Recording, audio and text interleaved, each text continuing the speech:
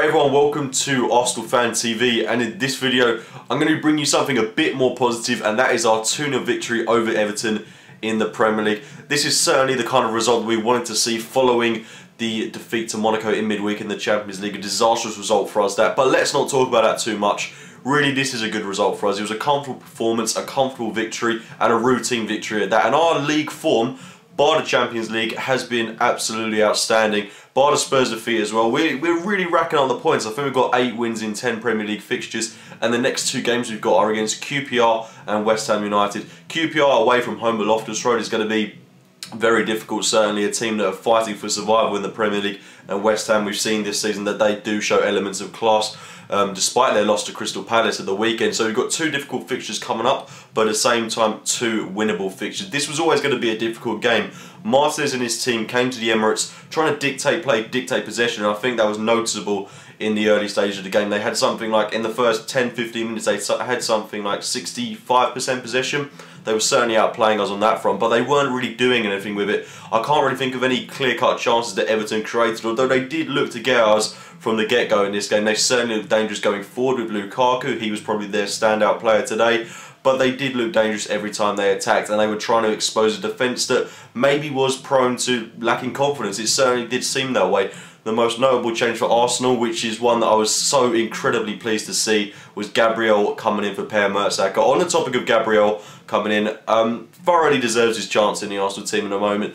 He played really well for me today, bar a couple of errors, which I think we've got to expect of him. He still isn't fluent in English, he's still going to have some adapting problems, but he's come into the squad, he's done an excellent job today, he's kept a clean sheet in a very, very, very difficult game for him. Certainly a difficult game to really make your Premier League debut at home, um, well not debut, but full-time debut, uh, in a very difficult game against a side that has a very decent attack, bar how poorly Everton have been this season they have got a good, a good attack. They've got Mirallas, they've got Naismith who came on, they've got Romelu Lukaku. Certainly players that can punish you. And although he did make about two sloppy errors that I can think of, there was one header he made which he put right back into the box. And of course the obvious um, thing he did at the start of the game which nearly allowed Lukaku to come in if it wasn't for the miraculous uh, well tackle from David Ospina. Apart from that I can't really think of anything. He made some superb tackles that you certainly wouldn't see Per Mertesacker doing and he's certainly warranted a a, a, place in the team at the moment. He's certainly playing better than Per Mertesacker was, and once he's got his English sorted out, a real asset, asset to the team. And he's a no-nonsense guy. I just loved having him in the squad today. Certainly deserves his chance, and he's going to provide some real competition for um, for Mertesacker certainly. Koscielny alongside him, I thought he did an excellent job commanding uh, the area. Bellerin and Gibbs, I think Bellerin certainly had a more confidence-boosting game. I think Regarding some of the players that I would have suggested had lacked confidence following the defeat against Monaco, I think Wenger did the right thing in maybe continuing with them in the squad. I thought Ozil did well today, got two assists, although he is very subtle in his approach.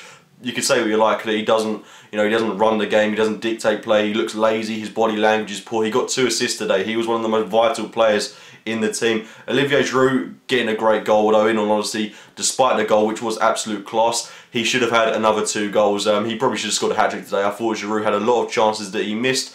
But again, that is to be expected. This, this, this was a guy that was lacking on confidence, and he scored an absolute class goal. His form has been superb for us, for Olivier Giroud, and for 10 million quid, we for 10, 12 million, whatever we're going to say, he has been superb for Arsenal since he's come in. He's scoring goals practically every other game for us. I mean, recently in the league, practically every game, he's been absolute class and he's a great asset to the side. He is going to have occasional poor games like the one he did against Monaco, but that could happen to any player whatsoever. We can't judge him on just that one performance because this season he's been super, although at times he can be incredibly frustrating. That's that's been proved uh, many a time, not just this season, but last season and the season before that as well. But it's great to see him finally getting his shooting boots on and grabbing some goals for us. But I'll get into the first goal a little bit later. Regarding the rest of the team, um, you know, it was a it was a solid one. The only real thing that maybe I would have questioned was Gibbs keeping a place in the team. Gibbs was all right for me today. He didn't really do anything outstanding. His crossing was diabolical at times. And I, I think I would have preferenced Monreal starting this game. He certainly warranted a chance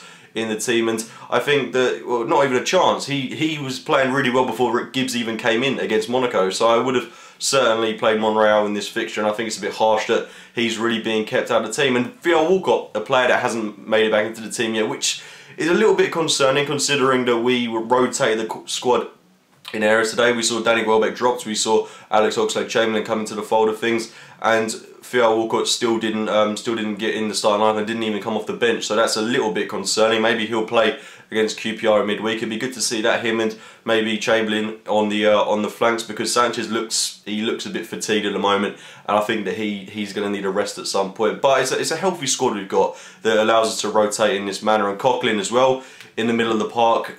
It looks like he's got a broken nose, but he was absolutely miraculous for us today. Absolute class. David Ospina, um, I've already mentioned his save today, but he was probably you know, close to being man of the match if it wasn't for some excellent work from, I think Laurent Koscielny came close to being man of the match today. We had a lot of man of the match performers, I think, although there were a few players that um, you know, actually saying that, I think I think it was a good all-round team performance today. Certainly a very a very solid one, and certainly the kind of response I would like to see from the uh, from from the game against Monaco in midweek. Although that first 20 minutes for me was a little bit shaky. Getting into the game itself, there were times when we were giving the ball away. We couldn't string a couple of passes together, and we kept giving Everton possession. Not by them trying to get it off us, by players like Ozil, Sanchez just running in, running into Everton players, and that was very poor to see in that first half. Um, and we didn't really look like scoring. That was the most concerning thing because Everton were defending very well. Every time we went forward, they had about 9, 10 men behind the ball, which you could naturally expect them to do. And it was very hard to break them down, and that concerns me. We struggle to break teams down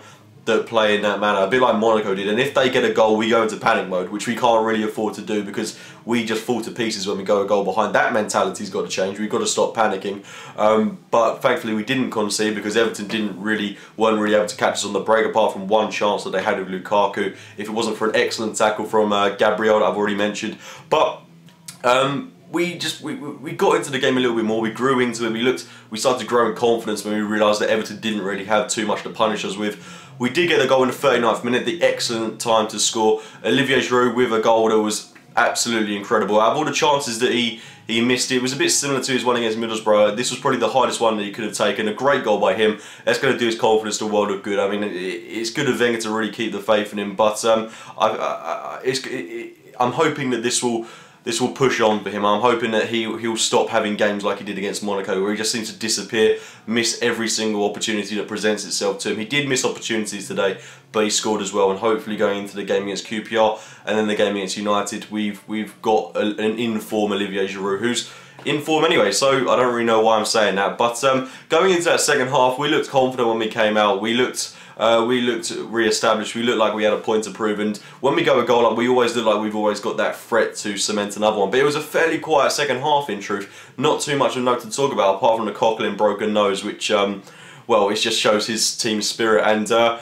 you know, it, not not really like I can think of a note that really occurred. I mean, they did have more chances with Lukaku, um, but that's really all that occurred from an Everton point of view. They brought Aaron Lennon. He had a good chance to score. More incredible saves from David Ospina. Don't get me wrong, Everton did have their chances in this game, but we were the ones that came out on top, and I think we're the ones that were certainly deserved of the win. And then we got the goal later in the game through Thomas Rosicky, his first touch of the game, and a superb goal from him. Granted, it did take a deflection off Phil Jagielka, but excellent character by Rosicky and a superb goal at that. So really pleased for him, really pleased for the team today. But um, it still doesn't really take that game against Monaco out of my mind. I still, uh, this was the right way to respond, but I still think that performance against Monaco was absolutely unforgivable. However, I want to look at the positives today. We can do, we can still do really well in the league. Let's not forget that after today we're nine points behind Chelsea. If West Ham could, you know, scrape a draw against Chelsea in midweek and we could beat QPR, then we, we'll, we'll be seven points behind. I'm not saying that we're going to win the league. I certainly don't think that's going to happen. But if we could get second, that would be a superb season. If we could get second and we could win the FA Cup, if we could turn things around in Monaco, if we could, you know, at least give it a shot, that would um, that would give us some positivity. But I certainly don't think that this this this is papering over a lot of cracks that we saw against Monaco in midweek. But the important thing was getting the win, and we've got to rebuild confidence in the side because when we're a team that rely heavily on confidence, I think that's so blatantly obvious within the side. And I think that once we've got that confidence behind our belt, when when we if we we've won this game obviously and we go to the game against QPR where I'd expect us to be getting a convincing win there as well. Then we go to United, the big game at Old Trafford, our biggest game of the season by a distance, a massive, massive game for us. thoroughly looking forward to that. But um, this is the exact kind of result we need today after a poor result in midweek. Almost an upwards from here. Who knows what we can do this season, but this is certainly the right way to respond. If you've enjoyed the video, guys, please do hit that like button, subscribe to Arsenal Fan TV, and make sure to check out my own channel, AFC Game by Game. And I will speak to you soon for my QPR preview. I think, you know, Mertesacker, I think, rest in peace, mate. We don't want to see you no more. Because he that harsh. He turned he turned his back on the, on Wednesday night on that on that ball for the mm. shot that deflected off him. And if you know, Tony Adams must be watching this and thinking, how's he playing for Arsenal?